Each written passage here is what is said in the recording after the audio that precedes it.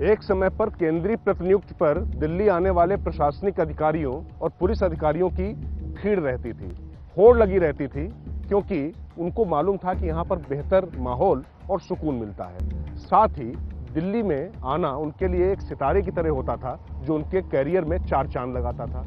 लेकिन अचानक पता नहीं क्या हुआ कि खास तौर से पुलिस सेवा के अधिकारी दिल्ली आना ही नहीं चाहते हैं।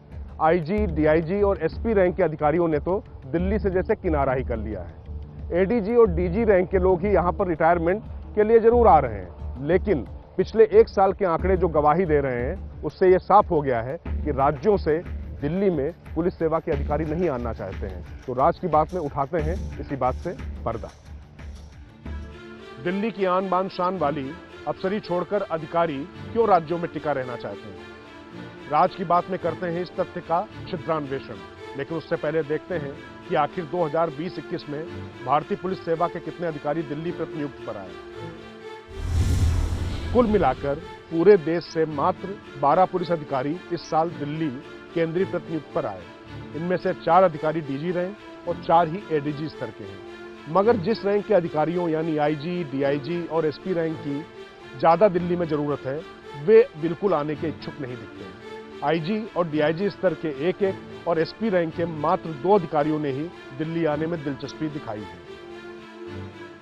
मतलब ये कि केंद्र सरकार के मंत्रालयों की तो बात जाने दें। आईटीबीपी, सीआईएसएफ, सीआरपीएफ, बीएसएफ ये जो केंद्रीय अर्धसैनिक सुरक्षा बल हैं इनमें भी आईजी, डीआईजी और एसपी रैंक के अधिकारियों की कमी महसूस की जाने लगी है।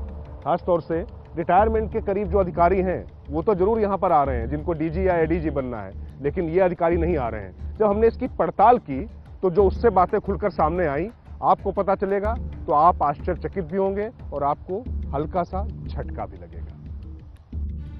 जैसा कि मैंने शुरुआत में ही कहा कि दिल्ली में प्रतिनियुक्त की नौकरी सुकून की मानी जाती थी।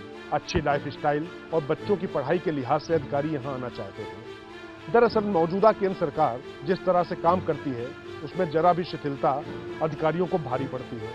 पीएम मोदी और इस काडर को संचालित करने वाले गृह मंत्री अमित शाह की काम करने की निरंतरता अगर बेजोड़ है तो लोगों से उनकी अपेक्षाएँ भी वैसी ही होती हैं।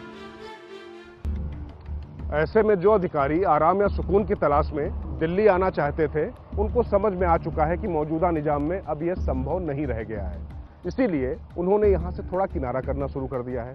कई वाकई ऐसे हुए कि पीएम मोदी 24 घंटे और गृह मंत्री अमित शाह 24 घंटे काम करते हैं तो सीधे नियत समय पे कार्रवाई की अपेक्षा भी करते हैं और जो इसमें असफल रहता है, उस पर कार्रवाई भी होती है। दूसरी सबसे बड़ी बात कि जिस तरीके से केंद्र और राज्य सरकारों के बीच में सियासी तनातनी चलती है, उसमें कई बार अधिकारी मोहरा बनते हैं और पिस भी जाते हैं। इसीलिए जो होम कार्डर में आईपीएस हैं और लंबी नौकरी बची है, वहीं पड़े रहना चाहते हैं। राज की बात में इस हफ़्ते इतना ही। मुझे दीजिए इजाज़त, लेकिन हर रविवार रात आठ बजे देखना मत भूलिए राज की बात। और तब तक देखते रहिए एबीपी न्यूज़ आपको रखे आगे।